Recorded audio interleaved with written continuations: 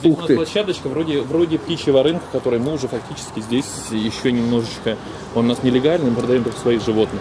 Но в принципе уже готовы принимать по выходным, принимать население для торговли животными. Мгм.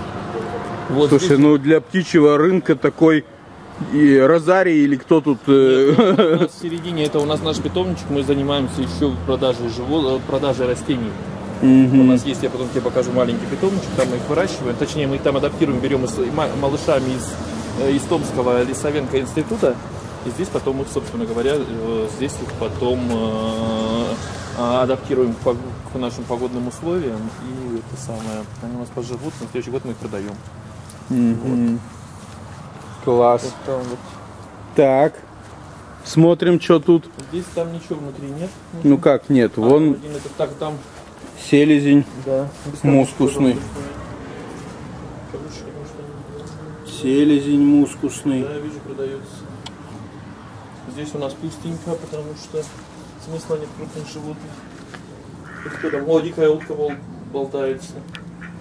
Очень хорошо, очень хорошо весной покупают на подсадку.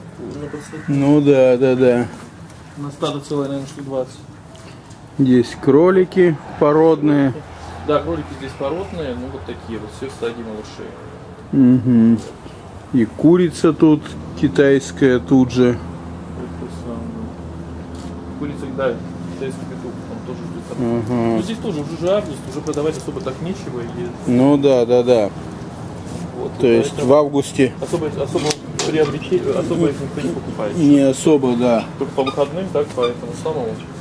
Ну, он кучинский, это ой, нет, это московский черный петух даже, видишь, оказался.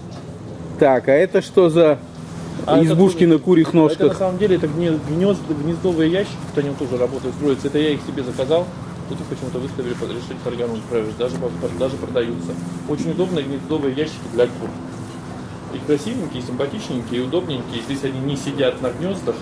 Вот это для декоративных пород, тут большие для этих самых.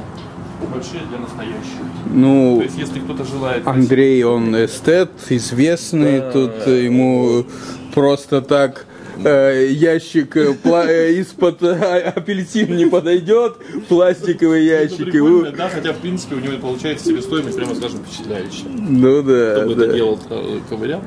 Вот, но их тем не менее покупают. И у Да. меня теперь такие вот здесь себе скажу. То есть вот здесь вот территория, где это будет птичий рынок. Да, это будет, да, вот уже, да. Это единственный городской? У нас в городе теперь нет фактически птичьего рынка. Мы пытались его открыть два раза, три года.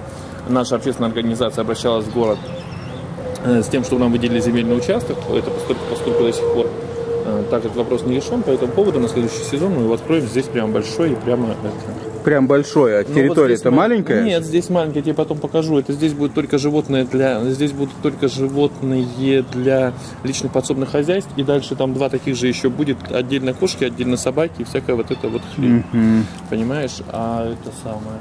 А здесь, э, здесь мы сейчас наставим просто-напросто прилавков и будет здесь желающих продавать. У нас, кстати, не так много, не так много народу торгует всем этим. И это подразумевается в первую очередь здесь торговля именно животными, без всякой сопутствующей этой самой, без всякой Хотя именно животные. Все остальное, все остальные торговли мы, собственно говоря, можем организовать самостоятельно. Ну ясно, да.